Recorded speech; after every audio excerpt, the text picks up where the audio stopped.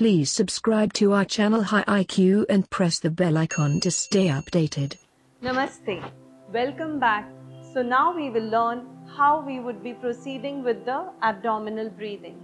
Rem- always remember in pranayams we have to go with the counts.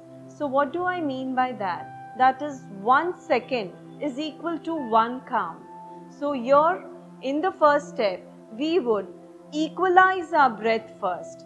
So we will begin and we will begin with 3 counts which means inhale one, two, three, exhale one, two, three.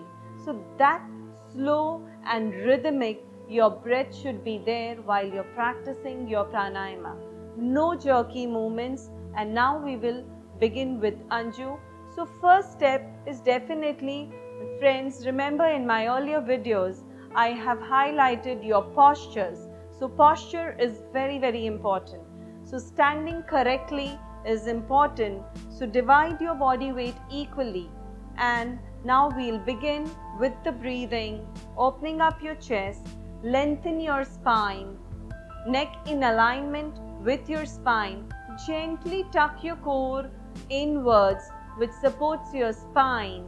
And now we'll begin first. Inhale one, two, three. So can you see she's filled up her abs completely. Exhale one, two, three. Again, second round. Inhale one, two, three. Fill up your abs nicely. Exhale one, two, three. One more round. Inhale one, two, three. Exhale one, two, three. Now again you can relax. So this is what we call as equal breathing. Now this can be practiced even when you're sitting or even when you're lying down. So practice equal abdominal breathing.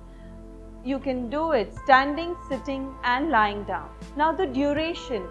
Since in my earlier videos I have shared that always stick to like if you are with the even numbers, start with 2 rounds, go up to 4, 6, 8.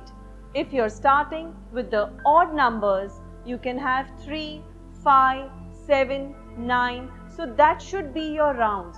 So progression is the key to improving your practices. Don't go very higher with the number of rounds, but minimum at one go you can practice 10 rounds to begin with. So it's a very very good practice abdominal breathing. It will help you to start improving your lungs efficiency. So this is what we call as abdominal breathing.